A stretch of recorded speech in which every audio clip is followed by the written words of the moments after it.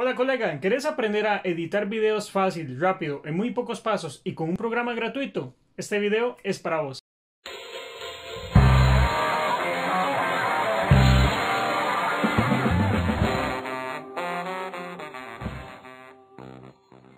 Bien, en esta tercera parte podemos observar entonces que hay diferentes herramientas para poder trabajar. Cabe mencionar que OpenShot es una herramienta muy llamativa, sin embargo, se limita mucho por su capacidad a la hora de reproducir los videos, de poder verlos acá, ya que no utiliza aceleración de hardware, sino que utiliza los recursos básicos de la computadora, eh, provocando un poco de problemas al momento, por ejemplo, de ver los recortes. Por ejemplo, en este momento hice un recorte acá, voy a hacer otro más para que se pueda notar. Escojo la navaja, le doy un clic vengo aquí en este espacio por ejemplo donde marqué y le doy un clic para recortar. Quito la navaja y puedo seleccionar este espacio le doy clic derecho quitar clic. Acabo de recortar esa parte. Ahora me quedó un pequeño espacio acá. Puedo por ejemplo venir sostengo el clic selecciono estos tres y simplemente sosteniendo el clic los puedo arrastrar cerca de este otro. Darle play. Listo. Continuamos Luego de haber hecho los recortes que necesitamos, por ejemplo, supongamos que por aquí más adelante hay otra parte que necesito recortar, esta parte de acá. No me gusta que aparezca eso. Nuevamente puedo venir, dar con la navaja, cortar. Seguimos buscando a ver hasta dónde llega. Ok, ahí vuelvo a recortar otra vez.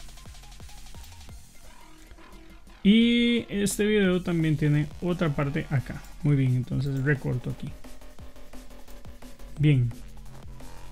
Ok, aquí es donde vuelve a salir. Así que simplemente quito la navaja, selecciono ese clic derecho quitar, este acá, clic derecho quitar y nada más junto los clics. Ok, muy bien. Este último también tiene alguna parte. Sin embargo, este lo voy a dejar así. Ahora, ¿qué pasa? No alcanzo a ver esta línea de abajo. Puedo correr esto hacia arriba un poco. De esta manera. El video acá se hizo más pequeño, pero también puedo alinear esto un poco más, ya sea para acá o para allá. Y ya tengo a vista estas dos de acá. La línea del tiempo me marca que el audio es mucho más largo que los videos en este caso. Aquí puedo, por ejemplo, agrandarlo y ver hasta dónde llega. Aquí es muy simple.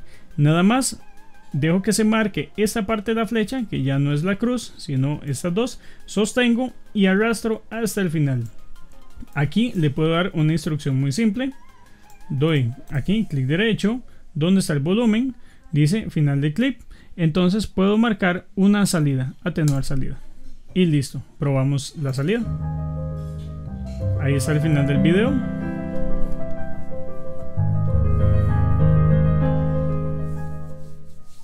Y terminó. Finalmente podemos agregar texto también en esta parte que lo vamos a ver en el siguiente tutorial. Muy bien.